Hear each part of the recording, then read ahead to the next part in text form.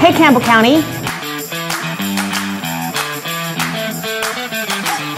This weekend, we want you to shop small.